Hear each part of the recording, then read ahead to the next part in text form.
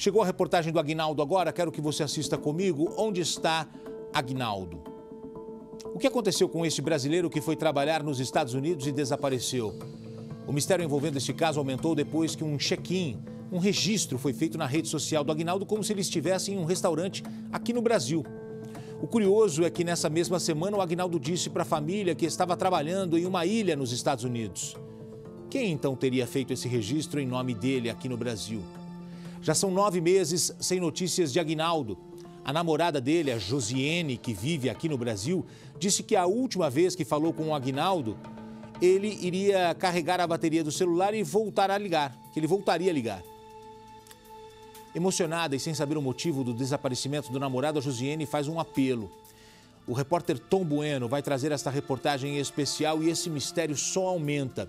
Mas eu lembro, ele, ele está desaparecido há nove meses. Nós entramos no caso há três dias.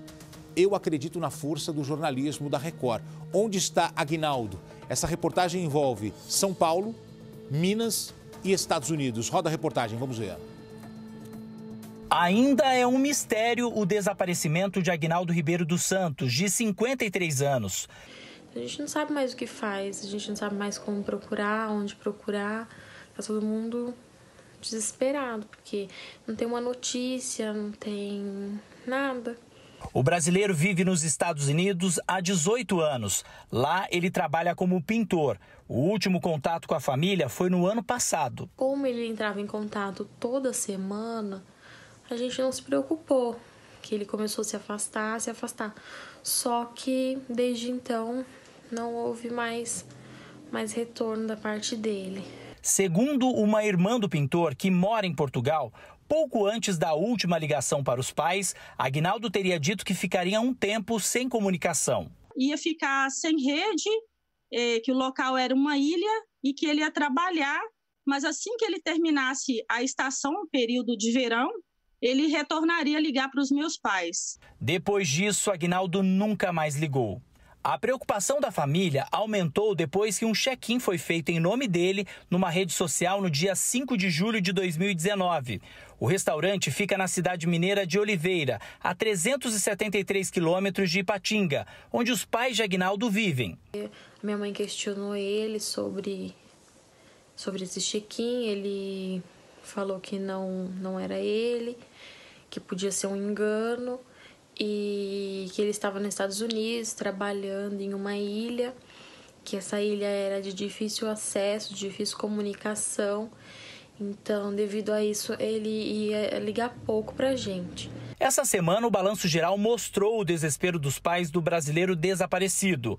Onde está Agnaldo? O que teria acontecido com o pintor? Eu queria saber notícia, né? Dele, se ele está vivo ou está morto, né? Eu quero notícia dele, se está bem, o que, que aconteceu. É pior do que a dor da morte, a dor da espera. Agnaldo tem um filho que mora no interior de São Paulo, com quem tinha contato diariamente. Ele fazia videochamada tanto com o filho com a mãe junto, entendeu? Então, assim, é algo meio improvável. Não estou dizendo que é impossível, mas sem dar notícias da família nove meses, eu não acredito. Mesmo morando nos Estados Unidos, nos últimos anos, Agnaldo mantinha um relacionamento à distância com uma brasileira que mora na Paraíba, Josiane Andrade, de 43 anos. Segundo ela, os dois já se conheciam há muito tempo, quando Agnaldo serviu o exército no Rio de Janeiro, onde ela morava com a família. Na época, os dois namoraram, mas depois de um tempo, Agnaldo voltou para Minas Gerais e eles perderam o contato. Os dois voltaram a se encontrar 12 anos atrás em uma rede social. Foi o que Josiane contou nessa entrevista dada a uma página de brasileiros que vivem nos Estados Unidos. Eu era uma muito menina, ele já, era, ele já tinha é, 18 anos. Mas aí é, eu conheci o pai das minhas filhas, comecei a namorar com ele e me casei. Quando Josiane se separou, ela e Agnaldo voltaram a se falar. Quando eu me separei foi que ele me reencontrou através do Orkut. Nisso ele ligou para minha casa, que eu estava no período de separação. Ele ligou para minha casa, a gente começou a se falar e desde então a gente se falou diariamente. Segundo Josiane, Agnaldo era quem bancava ela aqui no Brasil. Quando eu parei de trabalhar, eu fiquei na dependência de Agnaldo. E eu falei, Agnaldo, eu não aguento mais estar parado, eu tenho que fazer alguma coisa, eu tenho que trabalhar. Ela disse ainda que o casal fez planos de montar um hortifruti. Eu não tinha mais condição de pagar, porque era o aluguel da casa que eu morava, que era uma casa boa, era o aluguel do imóvel que, tá, que a gente estava montando, o, o, o hortifruti, fora as outras despesas, água, luz, telefone e, e, e a manutenção, enfim minhas dívidas, então aquilo foi uma bagagem que caiu em cima de mim, da onde eu ia tirar se eu não estava trabalhando. Uma das filhas de Josiane, durante a entrevista, também se emocionou ao falar de Agnaldo. Eu conversava com ele, ele me dava bronca como se fosse o meu pai. É, quando eu casei, ele que, fez a festa de casamento. Ele que fez minha festa de casamento. Quando eu tive meu primeiro filho. Chamava ele de vovô. Chamava ele de vovô. É. Então não foi difícil só para a mãe. Para mim também foi, porque eu, eu tenho ele como pai. E eu respeito muito, muito ele. Mesmo ele sumido, eu tenho ele como um pai para mim. O último contato que Josiane teve com o namorado foi no dia 21 de maio do ano passado. Eu vou colocar meu telefone para carregar um pouco aqui, que ele está descarregado. Assim que ele carregar um pouco, eu já te chamo já, tá bom? Depois, ele nunca mais respondeu às mensagens dela. Josiane chegou a entrar em contato com a mãe de Agnaldo. Eles estavam até achando que, é, é que ele tinha vindo para o Brasil e estava aqui na minha casa, aqui na Paraíba. Ela estava achando isso também. Durante a entrevista, emocionada, Josiane fez um apelo. Qualquer... Eu não sei o que aconteceu, não. Eu só quero que você apareça. Me perdoe por qualquer coisa, se você se magoou qualquer coisa comigo. E independente do que aconteceu com você, eu te perdoo. Eu sempre disse, o amor da minha vida, eu te amo, você é meu fé. E eu não quero outra pessoa na minha vida. Eu sempre te disse isso e você sabe disso. Então só aparece. Se você estiver vendo, aparece.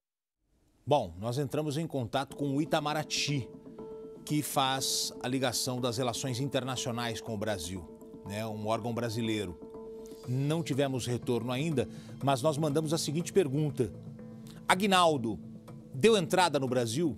Agnaldo desembarcou em algum aeroporto brasileiro? É isso que nós queremos saber. Então, nós vamos uh, descobrir, sem dúvida alguma, se ele está no Brasil ou não. Esse é o primeiro passo dessa investigação. A família está desesperada, agora ele tem uma namorada, não conversa com ela já há um tempo, ele está desaparecido há nove meses. É que a Record entrou agora na história quando nós descobrimos este caso, morando nos Estados Unidos. Lembra que eu falei?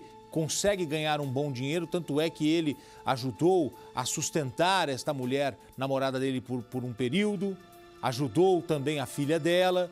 Quer dizer, um cara que conseguiu construir um patrimônio trabalhando nos Estados Unidos e agora está desaparecido.